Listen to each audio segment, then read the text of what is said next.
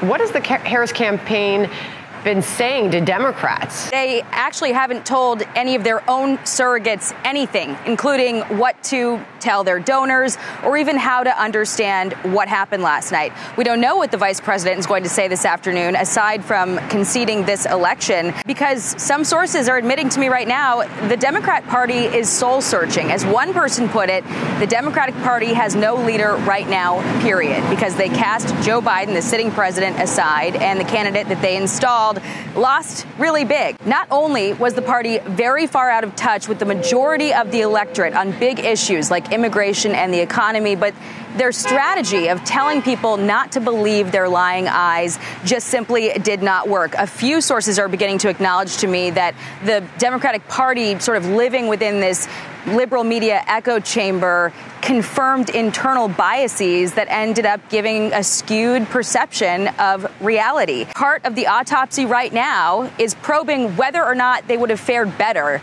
if Joe Biden had stayed in the race. Listen. I think it's hard to look back and talk about what could have or might have or should have been. Um, President Biden has a very strong legislative record uh, of bipartisan accomplishments, but um, we are going to have to sit down as a Democratic Party and look hard at why that didn't compel more folks uh, to come out and vote for Democratic candidates uh, both in the Senate uh, and in our presidential candidate, Vice President Harris. Now, one Harris surrogate told me that all the headlines that we've been watching for the last several weeks were also being read within her circles, and people were raising the alarm. For instance, about her failure to clearly articulate her policy positions and focusing so much on threats to democracy. I think she knows was a mistake was to say on The View that she couldn't think of a single thing that she would do differently from the Biden administration.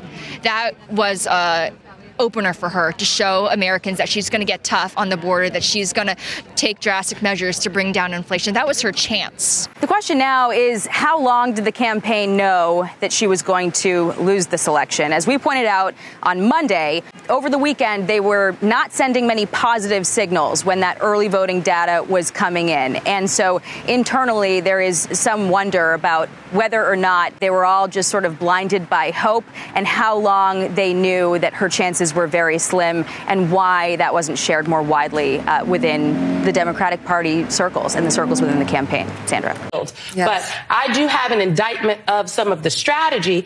And again, the people that said Joe Biden was the problem. Where's my camera? He was not the solution. He okay, was, was I will just note that I will just note that it is probably not the best idea that Democrats orchestrated a very public stab fest, a proverbial stabbing in the front of the sitting president of the United States of America, and then didn't use him in his hometown of Scranton, Pennsylvania. I will defer so, to Mr. Lemire. So, so